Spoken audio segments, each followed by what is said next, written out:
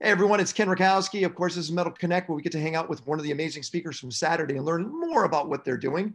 This is an interactive session. Dive in, jump in anytime you have a question or comment, but this is specifically for the metal community. Now, when Stephen came on a few weeks ago, I thought just the wall of glory behind him had enough of a story. As he started to dive in deeper in what he was doing, he definitely knew there was a lot going on in this guy's mind. And I'm honored to have you here. And uh, first, Mr. Key, how do you describe yourself to other people? What do you say? Well, first of all, let me see if I get this connect. Is this working? Yeah, we got you. Okay, perfect. How do I describe myself? That's Yeah.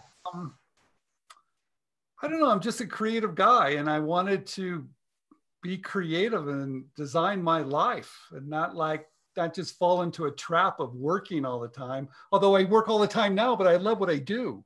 Mm, so you So don't feel like you're working. Yeah, but what what what do you if you had to check off a little box saying I am in this space? Oh. and what is that? I'm in the space of commercializing people's creativity. Okay, there is not a box in most places where, because most of the times it says your media, agriculture, education, government. What box would that be in? Is it advertising? Is it marketing? Is it, let, let's be broad first. Um, I would say innovation. Okay, I could take that. Innovation, but more on the creativity side of innovation, right? Yes. Yeah. I'm uh, all about breaking down barriers for people. I still like that And- you're being very generalized, but that's okay. Well, I, I think that if you're an entrepreneur and if you're a creative person, if you have some type of product or service, and you really want to share that, you know, you want to commercialize that, that the traditional method is didn't work for people like me. It just did not. I didn't want to start a company. I didn't want to hire employees. I didn't. I didn't want to do all that stuff. It just wasn't. Um, it just didn't work for me. What I wanted to do is find a way I could I could get companies to work for me. How's that? That's Yeah, what I wanted to do. I, I got that. You know, most of the time when we have a successful business, whatever it is, we find a need and satisfy it. Hmm. Right? Did you obviously see that need that you were going to satisfy? I just knew that I would have to create my own business because I didn't think anybody would hire me. Yeah, well, that's all entrepreneurs, by the way. Well, I, I don't know if all of them feel that way. I think a lot of people have some really awesome skills. I just didn't have much, but I knew I didn't want to work for somebody. I knew that. And and I also knew that I wanted to find something that I woke up every day and I was just pumped up. are, are uh, you generally self deprecating? Uh, all, all depends on my audience, probably. Just listening to you. So let, let's kind of dive into this space. We are in a COVID time. Yeah. And it's a very challenging time because most of the stuff you have behind you are things we would see in a store or we would see that would catch us because the, the idea of what you do is you want to catch our eye to draw us in to say, yes, I want. Right? With the stuff in the back? Yeah. No, they, these, um, it was very, I don't know. It's, it's, I didn't really think it through. These are things that I either brought to market myself or my students have licensed. And I had all of it just in a box in the garage. And I thought, I, you know, I'm around it all the time. I'm just tired of it. I'm just around it. And I moved up to Lake Tahoe and I had all in the box. I, do I throw it away or do I actually, I don't know, get it out of the box. So I, I, I started looking at it. I go, well, this is pretty cool. I remember this. And before you know it, I just put it in the back. And it's a it's a really big wall. It, Holy it's cow, it's huge. oh, oh, yeah, it's not as it goes wraps around of products, but uh, It's a they're great just wall. fun things that I've uh, that I love. And So I, I teach a class on entrepreneurship, and the very first class, I talk them out of being an entrepreneur. I say it's a horrible idea. Your your chances of breaking up with your significant other has just doubled. Okay. Your chances of gaining weight has just gone up. Your chances of lack of sleep or sleep uh, depriving yourself of sleep has just gone up so many things are against you the minute you say, I want to become an entrepreneur. I need to talk you out of it. And the ones that stay around, I know they're the, they're the ones that are ready. Okay. Tell me about well, your um, first your first day of class. What do you teach? What's your focus? I I think that you framed it correctly. That you better love it. You better be passionate about it, or you will not survive it. Yes. And I, I also think that you're right about talking about some of the traps you're going to fall into, right? And you're going to miss a lot of things in life if you're not careful. Right. Because I think you're going to be so focused that you're just going to, things are going to pass you by. But, but, uh, but I also think I would talk about what that feeling feels like to when you hit one out of the ballpark. I would talk about that magic feeling when you see your product on TV mm-hmm. or when you walk into a, I remember the first product I designed ended up at FAO Schwarz in New York. And, and walking into that toy store and seeing something I made, I was, I was hooked forever. So I think you need to talk about that experience because once you get a taste of it, how do you let go of it? It's kind of like saying, I want to compete for the Olympics. Competing and winning a medal are very different. You know really training competing and winning is so you look at the, how far back you got to go. Hey one day i want to win a, a gold medal. All right let's step all the way back. Do you even know the sport you do good are you good at the sport you're okay great now you got to become great at the sport i mean you have to go all these levels to have those type of wins it's it's tough the problem is guys like you talk about it. I don't it think it's that tough I, I think okay. there's few people at the top I right. everything else is down below. uh, there you go. And so if you can shift your thinking to to how do I get there? Who's there? How can I learn from them? How, how can I follow the roadmap a little bit, right? That's what I think. Find someone that's doing exactly what you want to do and then suck all that information out of them if you can. I think that's the fastest way on your on your journey, right? And yeah. I also think that um, you better celebrate going up because you can come down just as fast. Yeah, it's so true. You know, and, when you saw that first thing that you made at FAO Schwarz, how long did it take till it was knocked off, copied by somebody else? Well, it, it wasn't. I was, um, prior to that, I was selling things I made at street corners and, and county fairs and uh, state fairs, and everybody thought I was the biggest loser on the planet because I was making things myself and selling them. But I knew there is that exchange was pretty important for me to understand at that level. Got it. Um, so I'm never really attached to any of my ideas. I'm fascinated about by how to bring them to market. I test them very quickly but I don't love them. I mean, I, I like them. I think they're great, but I'm not in love with them. So I don't know if it ever got knocked off. Would I've even cared? Probably not. Um, I, I, don't feel about it that way. I, I don't look at it that way. So, guys that are watching, I want you to understand Stephen Key. He's got tons of books out there. His current book is called Becoming a Professional Inventor The Inside Guide to Companies Looking for Ideas. And as Stephen starts to dive into where he's at and how he sees that. I like the idea of a professional inventor. What's the difference between a professional and an amateur inventor? Well, that's why I wrote the book. I wanted to find out. Oh, you, you were on the journey. Well, I think I knew, but I wanted to ask the companies, what are we doing right and what are we doing wrong?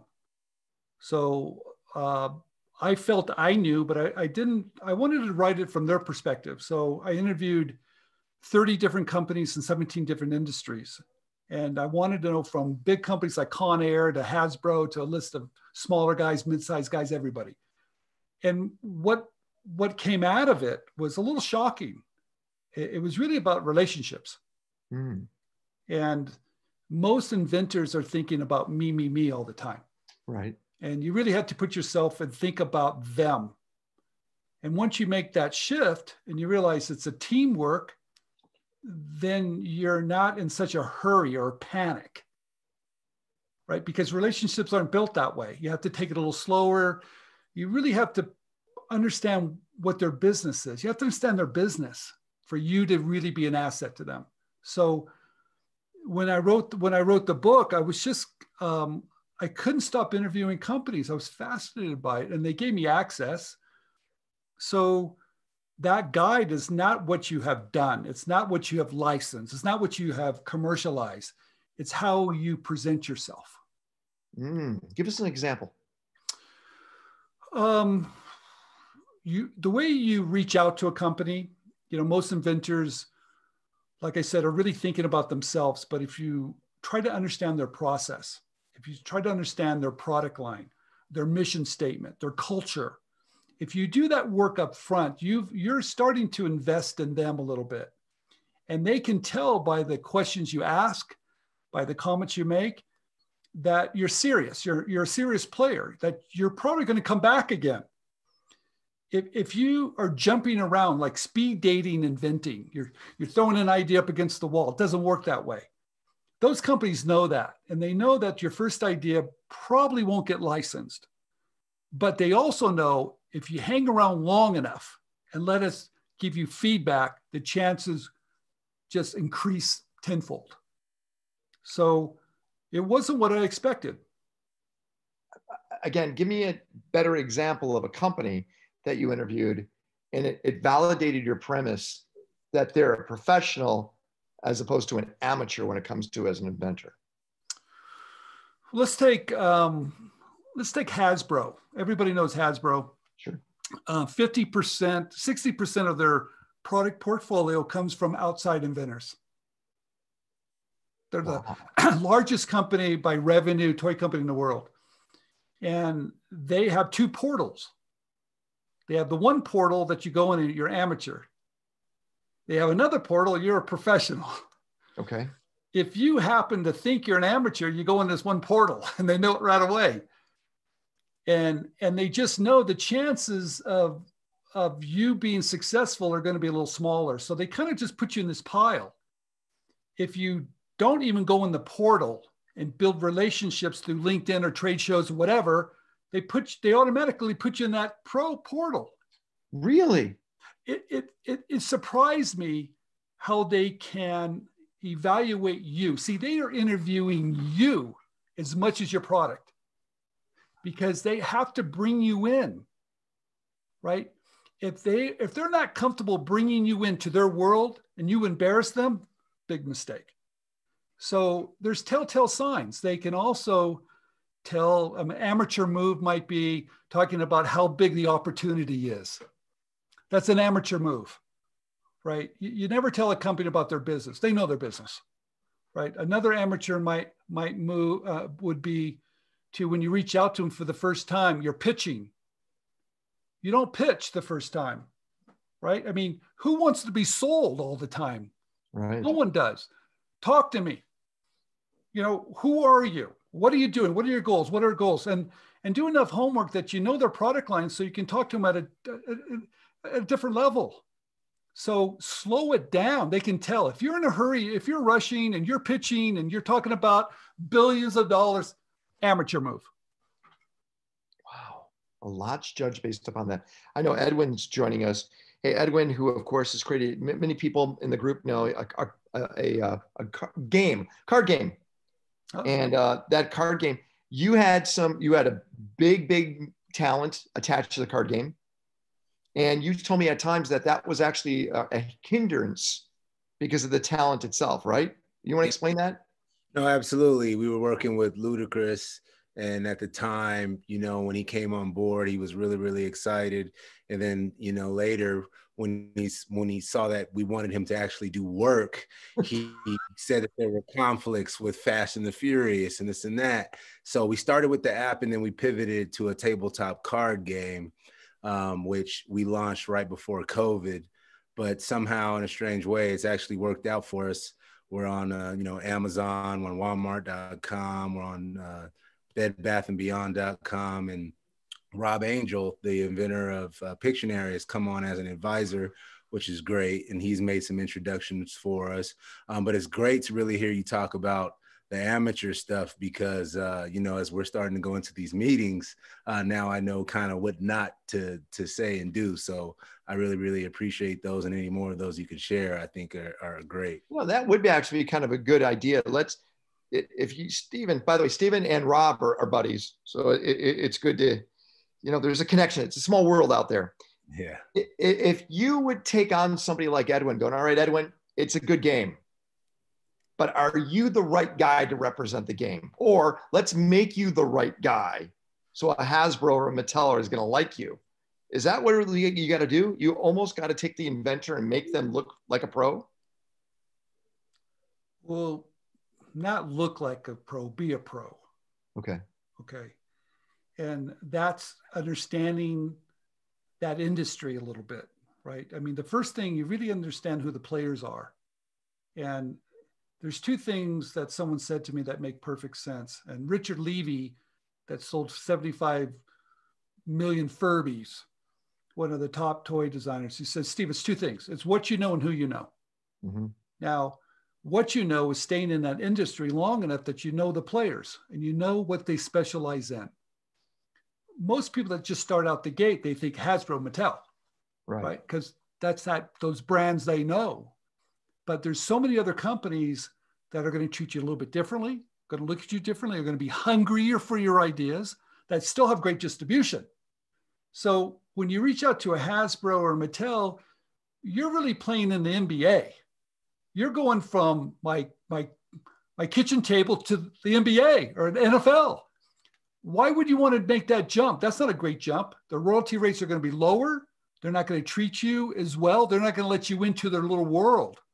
What you want to do is go down a little, little step down a little bit, step, step down to that mid-sized company, which is still huge, and start the relationship with those guys. They're going to love you more. They're going to treat you better. They're going to bring you in for you to get to the NFL. So I think there is a, something that people don't understand about the, the understand the landscape of the, who the players are. And then once you stay in it long enough, and they get to know you. You have to invest in them. Then now it's who you know. So it's what you know and who you know. That's how you win at this game. So it's not just your big idea because you're, you're going to have a lot of ideas. It's a long game. It's not a short game. It's a long game in every business. Relationships, know who's who the players are, know what the culture of the companies are, and be that professional that they can count on you and bring you in. Got that, Edwin? Yes, I, I do. That's that's great. There, there's another guy I can introduce you to. His name is Ken Johnson. Ken Johnson wrote the second. In fact, he has the second best-selling card game in the world. Is it Phase Ten? Phase Ten. Yeah, he's he's an advisor as well. Okay, good guy. He's what you're going to find that I think the guys that have gone up and made it down a couple times, and everybody knows that, they're willing to share. Yes. They're willing to reach down and pull the next guy up. Absolutely. Right. And uh, those two guys, um, Rob and Ken, are those two type of guys that are willing to help. So good, good guys. It's, it's ironic. I, I, just saw what Matt just wrote. And Matt, I want you to hear this. Uh, one of Stephen's books is calling Selling Your Ideas Without a Patent.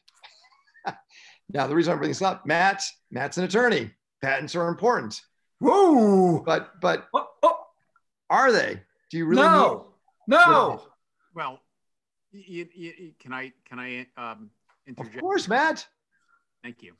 It's not it's just about patents and intellectual property, whether it's a, uh, a copyright, a trademark, a trade secret. You know, patents are inventions, and that's a whole different um, ball of wax. And okay, and and hold on, uh, just for one second. You know, oftentimes um, early inventors or uh, inventors or authors of games or contests or whatever it may be um, sign these agreements that they don't understand what they're signing away with the companies that they're working with. And so, Stephen, I'd, I'd love to hear you um, give some guidance to early um, inventors of, of whatever it may be as to how they can protect their intellectual property rights. Well, thank thank you. Um, I'm a patent holder. Proud. I'm a proud patent holder. Over 20 patents. Defended my patents against a little toy company, Legos. Lego. Um, I kind of understand it. I write about it for Forbes intellectual property from a business perspective. You don't own anything anymore. I am sorry to say it. I don't think it's a problem though. I look at it from a different perspective. Um, I'm a big believer you should own your creativity. I think that's why people create is to own it. It's just a little bit difficult to to protect it and get paid for it. All right. Mm. Okay. I like all the tools. And I don't think patents are the, the major tools today. I think if you've got design patent, I mean, design patent, a copyrighted trademark, that's probably better for online selling today because you can use those three tools to stop those copycats because they copy you exactly. So it's not even the patent anymore. There's other tools. I also believe that if you're if you're using patents for, for, for a protection mechanism, you're looking at it wrong. Because today, to even get the federal court is probably pretty hard. If you sue someone today, they're going to file an IPR at the USPTO and you're going to get stuck over there. Now, that's just kind of what's happening, but that doesn't bother me. In fact, I think it's the best time in the world to have intellectual property, but use it differently use it as perceived ownership. Understand that those tools are great tools. You can raise money by those tools. You can keep the honest people honest by those tools. You can stop some of the online sellers. You can do all these things. But to think that you're going to eat this cherry pie, that you work so hard, that I think you're mistaken. I think you have to possibly share part of that slice with a few other people now but the market's gotten bigger. I do believe the fight of, of fighting of copycats is not, shouldn't be done in court. I think the fight is going to be on social media now, right? Because I think us creative people have a powerful voice today, and we have to use it. We have to build a community of like minded individuals on LinkedIn or wherever you build it, build a base of raging fans help the community, and the community will help you. So I'm a big believer in, in, in taking the time to really building community. I, am a big believer in that because you're going to pull those people when you need them. Back in the day, if I had a problem with the company, I would call their customer service and I wouldn't get anywhere. Right. Today, I post on their Facebook page and they call me with 10 minutes. Okay, they can't spend tens of millions of dollars, I mean, hundreds of millions of dollars on their brand to get destroyed on social media. They can't do it. So if, if we shift our thinking of thinking this intellectual property is really important, but how do I use it in today's world? Because I, I'm not going to go to court. I don't want to end up PTAB. I don't want to poke anybody in the eye. I don't want to threaten anybody, but I want to use the power of my community to apply pressure on the situation for people to act appropriately. Yeah, but but you have the power of the community because of um, many other factors. There are a lot of inventors and authors and so on and so forth, and trademark holders that don't have the kind of power that you have. And I'm not saying that litigation is the uh, first step that one should take. Uh, as a matter of fact, I, I, I don't think that that is what should be done. But well, you know, I'll give you a good example. A friend of mine was selling a product on QVC, did a great job. Amazon, great job. Some of the retailers, and sure enough, he got knocked off by Target. So, you know, you don't sue a retailer. If you do, they're never going to carry your product ever. All right. So, so what do you do? And the litigation is so expensive, so time consuming, blah, blah, blah. He just called it the buyer at Target and said, Hey, look, I'm the original. I'm the original guy. Here's my intellectual property.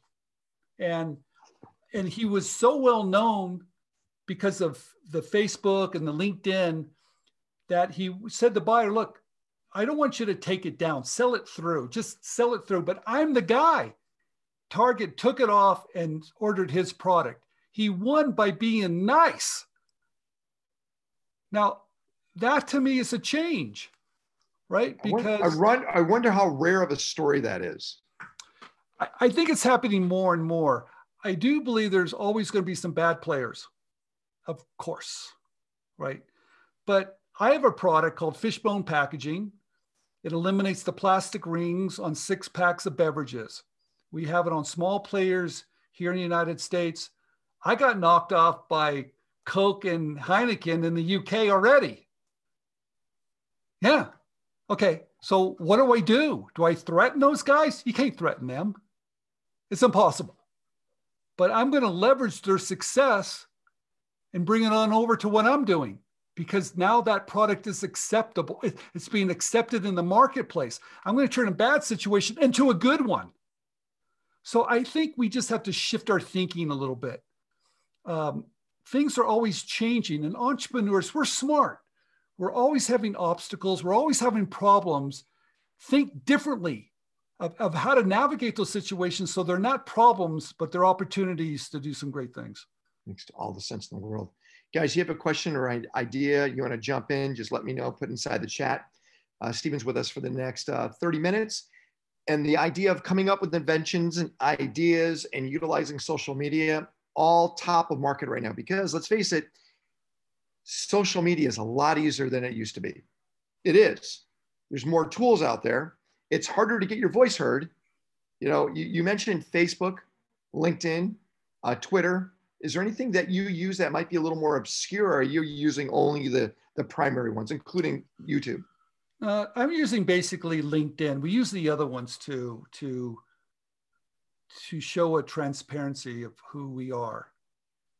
See, I, I believe today you you don't sell. You you you show how authentic you are. All right, that's nothing new. But I think you, you don't sell. You you service your industry or service your customers with good products. You care truly care about them, make a difference, and they'll line up out your door. Um, I don't think you right. sell anymore. I think there's too much noise to sell, and I don't want to compete with the noise. It's ridiculous. Um, also, I don't believe you have to say what you're going to do. Do what you're going to do it. Just do it, and people will see it, and they'll follow it. I like LinkedIn. I Just like how LinkedIn. You, how do you get above all the noise in LinkedIn? You start an account. You start off with nobody when you start your account. How do you get recognized? Well, connect with me, and you're going to connect with my 10,000 friends. And then my 10,000 friends have 30,000 friends. That's how you do it. It's not hard. I mean, think about this for just a minute. My community of inventors are out there, and we, we have a class every two weeks on LinkedIn of how to build like minded individuals together. So we start to all connect. We all start to connect and we share and we comment and we support. Now, I know you're, you, you understand this because we're all here talking about this now. And you all know how important it is and you know what the difference is making now.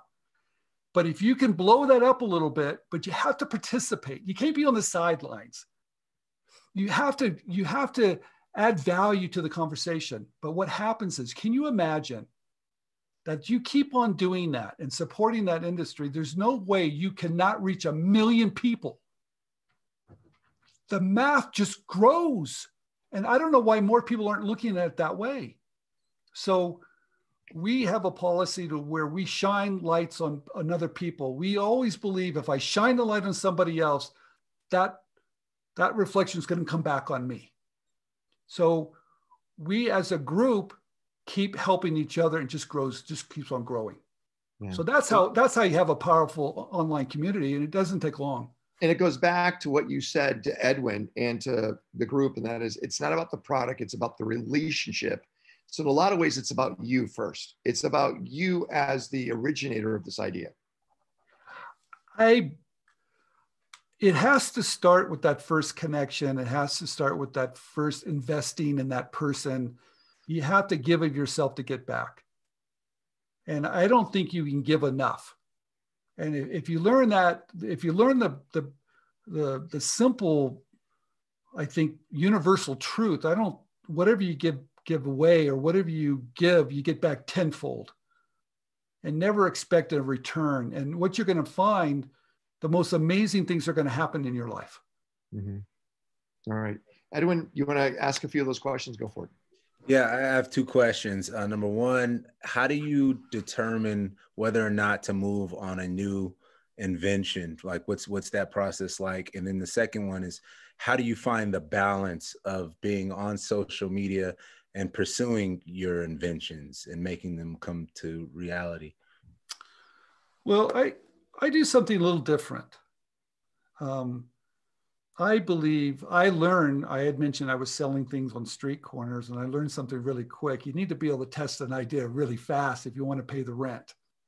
So I'm a big believer in, in testing. I'm a, I'm a really big believer in selling the benefit of an idea first. See, that goes against what we've been taught. You know, we've been taught we have an idea, we're going to file patents, build prototypes, build a company, and then see if anybody wants it.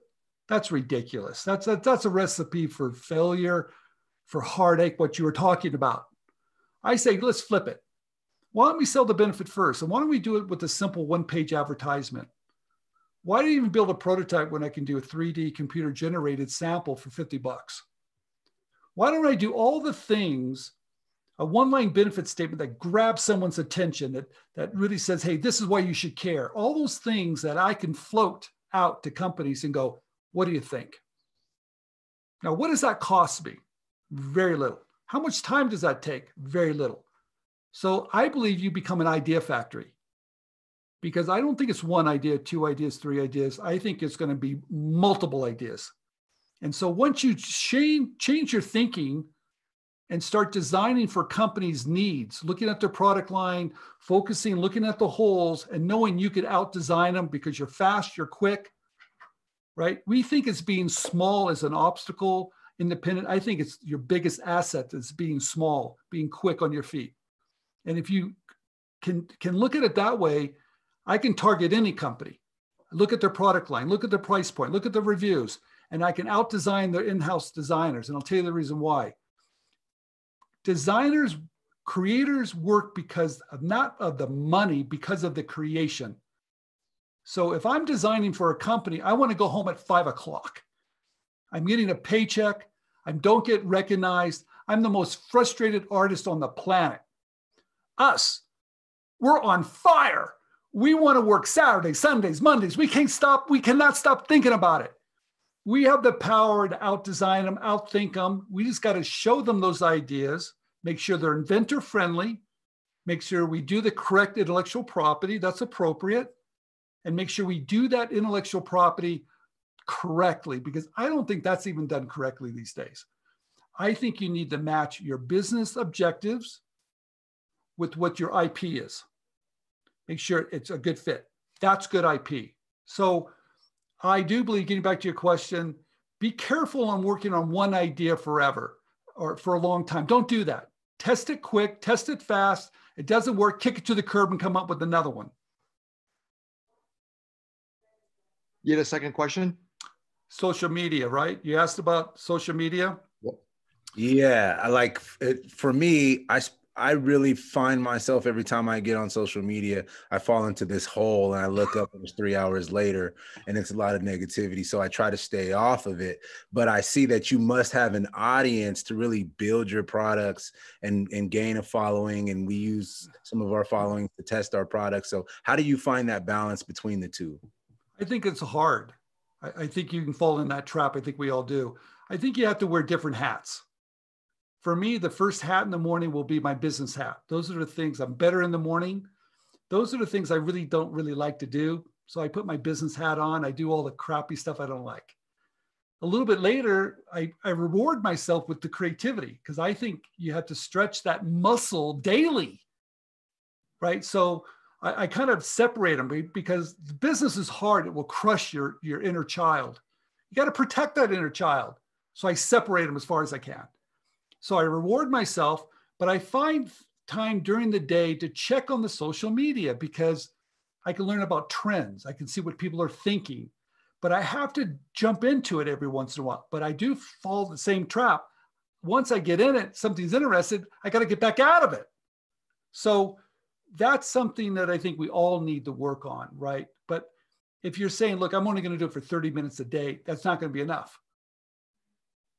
Right? It just won't be. I, I, think I like to do pockets. First thing in the morning, see what's going on, nail it, do some other stuff, have some fun, find some other place. And I just jump in during the day. But I find it more fun and relaxing when I do it that way too. It's not a job. I like people.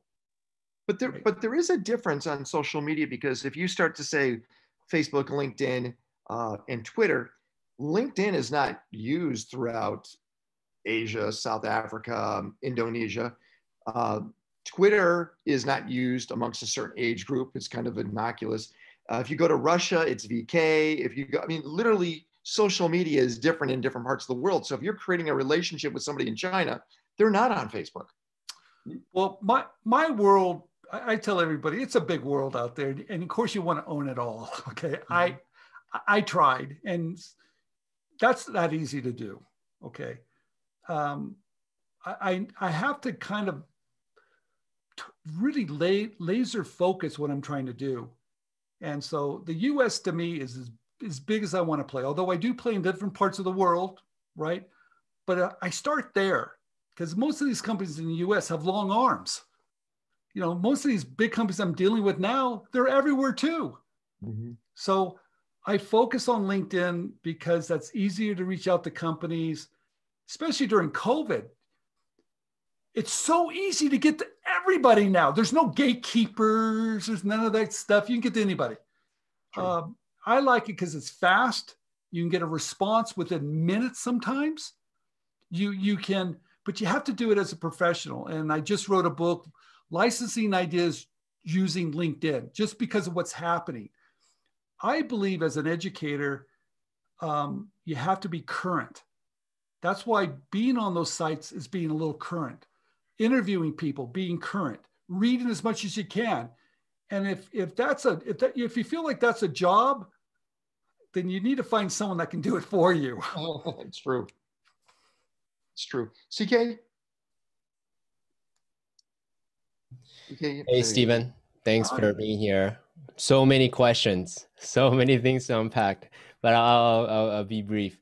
Uh, so if I understand you correctly, you ha- you keep a wide lens to look at the trends, and then you look at specific companies, and you look at the specific opportunities within the company, and then you pitch the the key holder in the company as a way to bypass all of that. So that's the context. The question I have for you is: Do you also run Facebook ads or Kickstarter as a way to bring that data to the key holder to say, "Hey, I have this many people sign up, this and that." Well, that's a really great question. I don't do that. But I can tell you by interviewing um, successful inventors or even companies that are, are really interested in building relationships, they like if you have an audience. And that's really interesting today. I, I, hadn't looked at it that way. They like that you've got a community, an audience, you've got a voice that has value to them. Um, when a company licenses an idea from you, there's no story there, but you're the story, right? And and that that is gold. I mean, that's a that's a currency on social media. You have a story to tell, and you can tell it. So you have a lot of value if you work on that part of your business. So uh, I don't particularly use it that way. Um, but if I was a little bit younger, I would show my creativity. I would be transparent. I would show who I am as a person. I would make those connections with all those people and grow my audience. Uh, I think it's easier today, but you know, it takes work, it takes a big investment, right? And I also believe that you you should be very careful about social media because those platforms can disappear. So if your business is based on any type of social media platform, I'd be scared. I think you'd need to to, to look at that very seriously and, and make sure you get all those emails over to you. I guess my point I'm making. Yeah, so I don't do it that way, but I, I think some people do. Yeah. Could I ask a follow up question real quick? Yeah, go for it. So you had advice to uh, Edwin to test quickly. In your mind, how quickly is quickly? Because it's all about iterations, right? So how quick is your iteration from idea to validation to deal. I'm a nut about being fast. I have a sense of urgency. If I have an idea in the morning, I want to know by the afternoon, am I crazy or not? I mean, I'm I'm a crazy inventor, and uh, I'm a I'm one of those crazy people. I want to know: Am I going to work on something that's never going to return a dime, or no one's ever going to see the light of day? No, that drives me nuts. When you have an idea and you something brilliant happens, and you go, "Oh my God, something just happened to me," and and you don't know even who to ask, but you know there's magic there. I want to know if I'm crazy. So what I'll do, and this is the process I, I try to teach to people if you if you build a network of companies that you're working with, they know you, and you can produce a sell sheet, a one-page advertisement, which doesn't have to be fancy, but really shows the benefit. If you learn those tools, I would come up with an idea at eight o'clock in the morning, nine o'clock, build a sell sheet, file a PPA, and reach out to a company by noon. That's moving fast. And that's telling me, that's giving me some read, not all the information I need, but it gives me enough read to go a little bit further. It motivates me. So I'm all about urgency and, and not just waiting, not overthinking it. That, that kills it. And, and things that don't have to be perfect. If you're if you think things are being perfect, you're going to lose. I say everybody, if it's 75% there, ship it. You can fix it on the way down. You can fix it later. But I want to read quick. I like that. So as you look at today's world of making something and getting it out, do you think that you need to use existing platforms also? So like Amazon's a platform, Etsy's a platform. Do you like to leverage platforms or do you feel direct to consumers the best way? I'm really the wrong guy to ask. That, well, that's not my specialty, but I can tell you this what I do know. It's easier today than it ever has been right? I can I can target. I forget forget Amazon. I can target. I can do Facebook ads and if I want to sell chocolate chip cookies to some grandma in Kansas City. Now, are you kidding me? I, that, whoever thought that could happen? So, and that's so inexpensive that I can keep on targeting and I can keep on switching my pitch up. I can do whatever I want just to test. And if I got a product to sell, even better. So we have we have full control now. Yeah, but there's a cost to that. So if you say, hey, I'm going to test, you're going to have to have a budget of X. You're going to do orders on demand, obviously, right? Because you don't want to carry inventory. That's the one thing you don't want, right? I wouldn't right. carry any inventory at all. Right. What I would do, I would run an ad. I'd play with that. I think I think that's where you need to play with it, and I would really narrow my my target so it's not very expensive because if I can duplicate it in Kansas City, there's a good chance I can get grandma in San Diego. Okay, so one, one, one of our metal members is a guy named uh, Elan Lee, and he did Exploding Kittens, right? Incredibly successful, but he kind of gamified it. He he figured out how to really tempt, excite, and reward along the process. I mean, he's he's kind of a god at it. But he also no, you I know, but I can test without even having inventory, right? I can do a dry test, don't even know if I have the product or not. That's right. what I would do. do. That often, and because he theoretically did the same thing, he he found out then later on how many cards he would need, and he went to the Cards for. Humanity guys to become partners, and he did all that. I, I mean, you could. God, the whole Amazon thing has changed too. Uh, I, I think, but you have to be careful. From what I understand, and the people I talk to all the time, you know even on amazon you've got to you've got to create demand folks you just have to you you have to be the ability to people to find you and that that's not easy right that takes work um, so you know my wife i had mentioned earlier she's a she was a vice president of gallo winery the highest ranking woman in the history of the company and when we got married, we, we met each other at Worlds of Wonder. And I thought ideas were everything. It all comes, it, it, it was just the idea that made everything. And she kept on saying, You're out of your mind. and I finally realized my wife was right. And she's been right ever since. You got to create demand. And, and that's not easy to do. And if you have that formula to create it and have the right product at the right price point and find the right customer, you can sell the shit out of it. So let's go, let's go behind you. Show us some of those products that you did exactly what you said. Found the right price point, you got the consumer, and you marketed the crap out of it. Now, through those social platforms. Well, I'll show you one. I love this. Um, I was the largest supplier of guitar picks in the world. Oh, that's awesome. Do you play guitar? No. it, it, was better that I didn't. So how would you market that then? How would you say, I, am going to do guitar picks? That's a cool one. I, I mean, look at this. Now, now here's what's crazy about that. If I was a guitar player, I would have changed the shape. And if I was a guitar player, I wouldn't realize there's more fans than musicians. Right. All right. So we um we came up uh I mean look at this one. Look at this one here.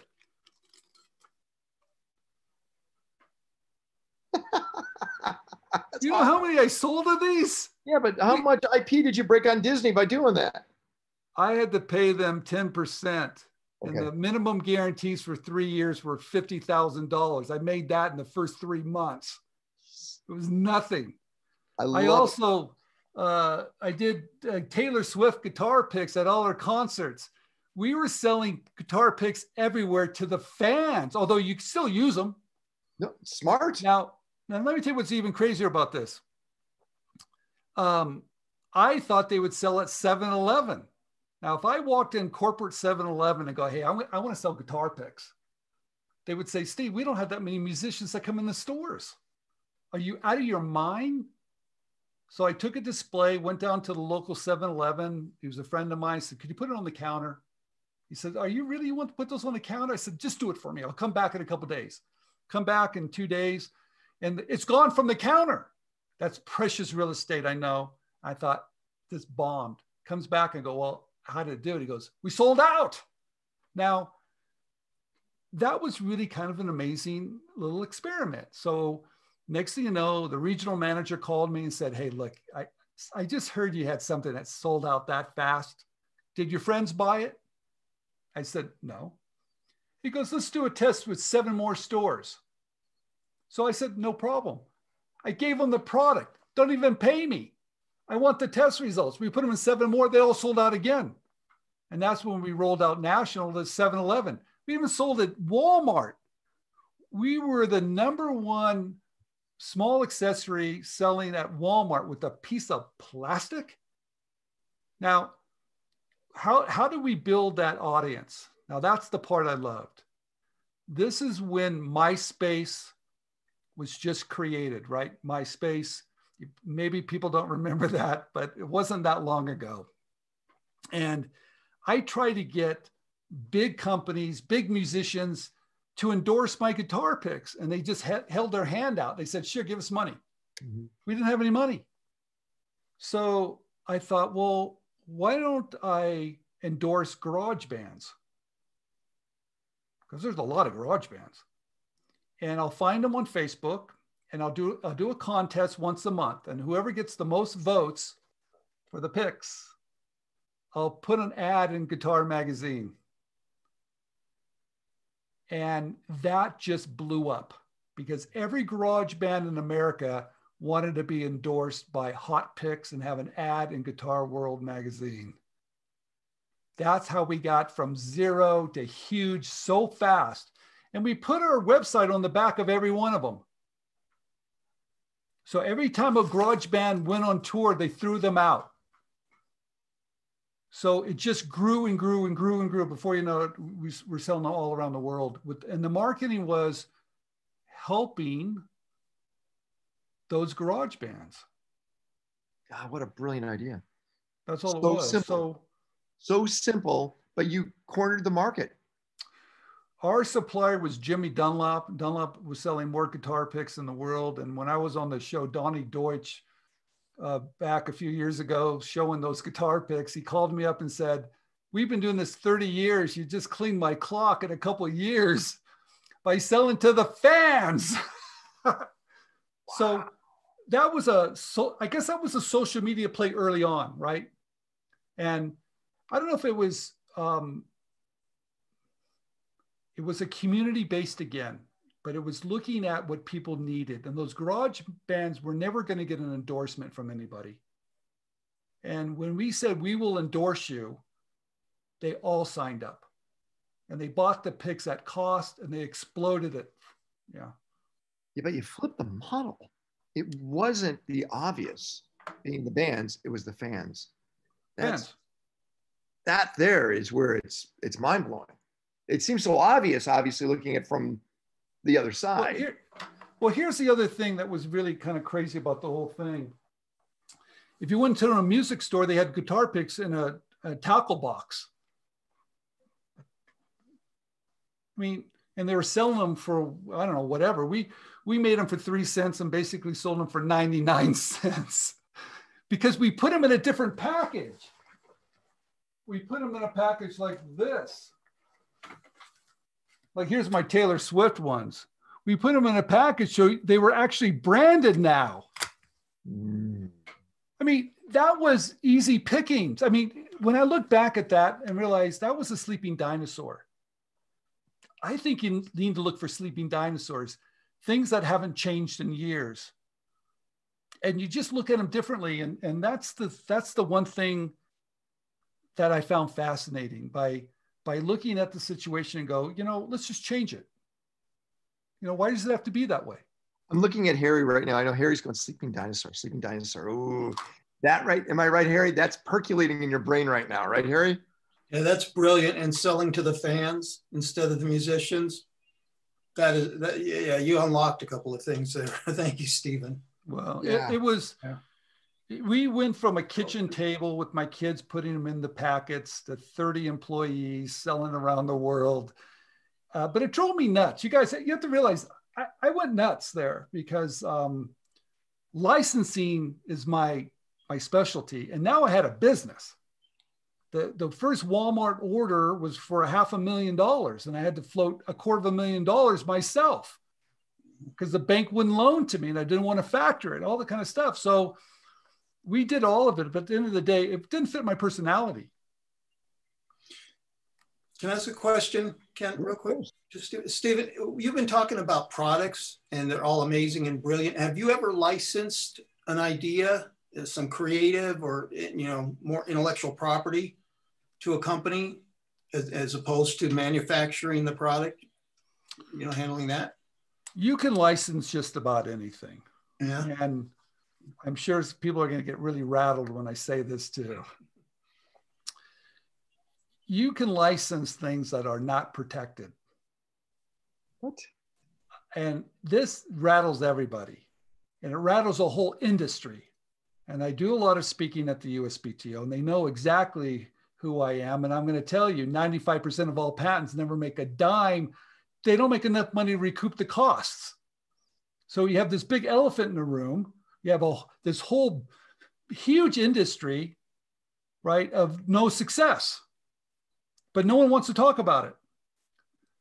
But I, what I see each and each day now that all the ideas that are getting licensed, there's no intellectual property. There's a well-written provisional patent application but it never goes to patent because it's speed to market now. Sell first, sell fast. It's not about fighting with your competitors. It's not about that. It's about being quick on your feet. So I like we the, with the fishbone packaging. Hopefully, everybody will look at that. That's my next big project. We um, that's rolling out now. Uh, the licensing deal was with a billion dollar company, and guess what? the grant of license. What am I licensing to you? Does have nothing to do with intellectual property whatsoever. And if you type in the definition of a licensing agreement, it says you're licensing intellectual property. and I just threw that out the door because it's about goodwill. It's about business. It's about know how. It's about everything it has to do. Then some patent examiner, 10,000 patent examiners, one in a little cubicle, tell me what I own and what I don't own. That just got thrown out the door. You know, I'll, I'll can I ju- just jump in real quick and that I'll say, uh, having worked uh, with a lot of entrepreneurs and startup companies, a lot of people, uh, uh Stephen, believe what you say, and that's get out to market, do outcompete, outcompete, and um, that's your intellectual value and intellectual property, right there. Yep. Yep. It's a fun world. It well, just got it, better. it's not first to market. It's not first to market. It's out to out compete anyone else that is in the market then too. I, you know, it it's I, think you have to have a good business. I think you need to run a good business and good customer service. And I think it's all those things. Right. And um, being first is going to be helpful. I think I like the licensing business model because I can license to a, a fairly large player that's got great distribution. And he's going to get it out there fast and he's probably going to have relationships that I would never have. And he's going to do things things I don't even want to do. Mm. and he allows me to do the things I do well. So I think it's a combination of just understanding all the tools that are available to you and leverage the size of some of these other companies that have been in business for 30 years I mean, why? Here's the thing that's crazy. If you're an idea person and you understand licensing and you, you become an idea factory, the walls just came down. You can do it anytime, any place, anywhere with no money. If I have to start a business on every idea I have, I'll go broke. Right. Explain real quick, Edwin. I like your question. Want to elaborate a little more on it? Uh, yeah. So, you know, I've had some inventions in thinking about starting the business. And as it grew, I always asked myself the question should I knock myself off before the others do it? Mm. And, you know, what are your thoughts on that in general? You're thinking like an entrepreneur. Yes, knock yourself off. I, I love that. You know, it's crazy. Have a high end, have a low end, you know, play that game. Why not? I also believe even take the same take that same strategy when you file intellectual property. If you're going to file a patent, steal it from yourself. Always look ahead. Look at what the next engineer is going to do. You know, engineers, I love these guys. They can't stop thinking about how to re engineer everything. Steal it from yourself, put all the variations, workarounds, manufacturing techniques, everything in that intellectual property to have great value in the marketplace. But if you're going to come out, I understand how to make the cheapest one, the middle sized one, and the most expensive one play all the fields. Damn, I love that.